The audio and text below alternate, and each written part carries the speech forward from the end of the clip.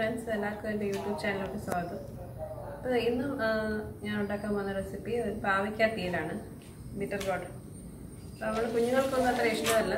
പിന്നെ പ്രായമുള്ളവർക്കും എല്ലാവർക്കും ഇഷ്ടമല്ല ഇത്. ചില- ചിലത് ഇതിന്റെ കയ്പായതുകൊണ്ട് ഇതിന്റെ ടേസ്റ്റ് പക്ഷേ ഇത് നല്ലൊരു ഒരു വെജിറ്റബിളാണ് അത് ഡയബറ്റിക്സ് പേഷ്യൻസിനാണെങ്കിലും അങ്ങനെ എല്ലാവർക്കും അത് നല്ലൊരു ആണ്. ഇപ്പോൾ നമുക്ക് പാവയ്ക്ക വലിയ ആ, കയ്പില്ലാതെ തന്നെ നമുക്ക് ഇത് കട്ട് ചെയ്ത് അത് വിനീഗർ ഒഴിച്ച് വെച്ച് വെള്ളം ഒഴിച്ചിട്ട് സോൾട്ട് ഇട്ടിട്ട് കുറച്ച് ഒരു ഒരു ഫിഫ്റ്റീൻ മിനിറ്റ്സ് വെക്കുകയാണെങ്കിൽ അതിന്റെ ഉള്ളിൽ എന്തെങ്കിലും വിഷാംശം അങ്ങനെ എല്ലാം ഉണ്ടെങ്കിൽ അത് നമ്മൾ മാറി കിട്ടും. അപ്പോൾ കുറച്ച് കയ്പുണ്ടെങ്കിലും അത് മാറി കിട്ടും. പക്ഷേ ഞാൻ ഞങ്ങളൊക്കെ തമിഴ്നാട്ടിലൊക്കെ ഞങ്ങൾ കുറച്ച് നാൾ എന്റെ ചെറുപ്പത്തിലൊക്കെ ഉണ്ടായിരുന്നു. അവിടെയൊക്കെ ഇതിലും ബീറ്ററായിട്ടോ ഇതിലും കയ്പുള്ള ഭാഗമൊക്കെയായിരുന്നു അവിടെ. കുറച്ചുകൂടെ ഗ്രീനിഷ് ആയിട്ട്. പക്ഷെ നമ്മൾ നാട്ടിൽ കിട്ടുന്ന ഇതുപോലത്തെ അത്ര വലിയ കയ്പില്ലെന്നാണ് തോന്നുന്നത്. അപ്പോൾ ഇത് വെച്ചിട്ട് നമുക്ക് പാവയ്ക്ക തീയിലുണ്ടാക്കാം. പിന്നെ പാവയ്ക്ക വെച്ച് നമുക്ക് ഫ്രൈ ഉണ്ടാക്കാം. അങ്ങനെ പല ഐറ്റംസ് ഉണ്ടാക്കാം. അപ്പം അപ്പോൾ ഞാനിന്ന് ഉണ്ടാക്കാൻ ഉദ്ദേശിക്കുന്നത് പാവയ്ക്ക തീയിലാണ്. അപ്പം അതിന് വേണ്ടി ഇൻഗ്രീഡിയൻസ്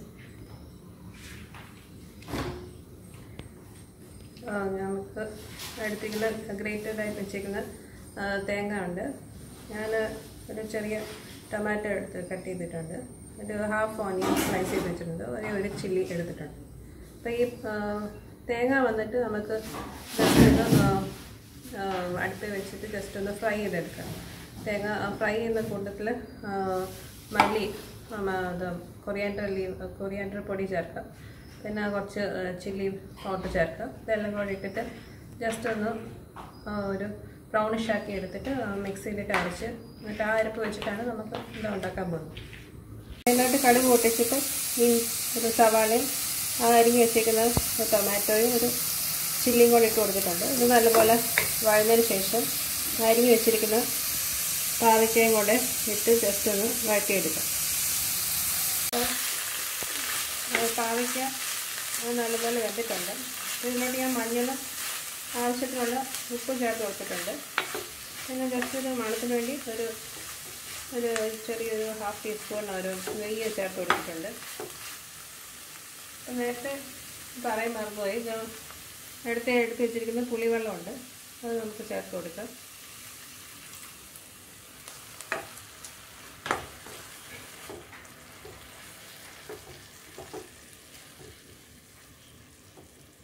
ഇതിലോട്ട് നമുക്ക് അരച്ച് വെച്ചിരിക്കുന്ന അരപ്പും ചേർത്ത് കൊടുക്കാം. ഈ അരപ്പിൽ ഒരു ചെറിയ ഹാഫ് ടീസ്പൂൺ ചില്ലി പൗഡർ ചേർത്ത് കൊടുത്തിട്ടുണ്ട്. മുഴുവൻ മല്ലി അത് അരയ്ക്കുമ്പം തന്നെ അത് ജസ്റ്റ് ഫ്രൈ ആക്കുമ്പോൾ തന്നെ ചേർത്ത് കൊടുത്തിട്ടുണ്ട്.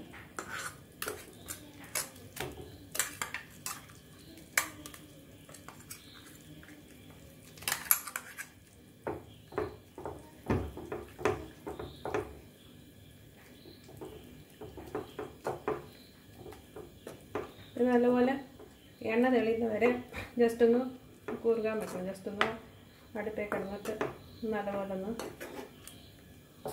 വരട്ടെ. സ്വാദിഷ്ടമായ പാവയ്ക്ക തീയൽ റെഡി ആയിട്ടുണ്ട്.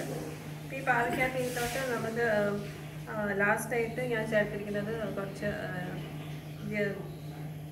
വെള്ളം അല്ലെങ്കിൽ ശർക്കര ഒരുക്കി ചേർത്തിട്ടുണ്ട്. അപ്പം ശർക്കര ഒക്കെ ചേർത്ത് നമുക്ക് ഇതിനകത്ത് ഞാൻ ജസ്റ്റ് ഒരു ഫ്ലേവറിന് വേണ്ടിയിട്ട് ഒരു ചെറിയ ടീസ്പൂൺ ഒരു നെയ്യ് ചേർത്തിട്ടുണ്ട്. പിന്നെ എല്ലാം കൊണ്ട് നല്ലൊരു ഫ്ലേവറാണ് കിട്ടുന്നത്. അപ്പം വലിയൊരു കയ്പ് മാറി കിട്ടും.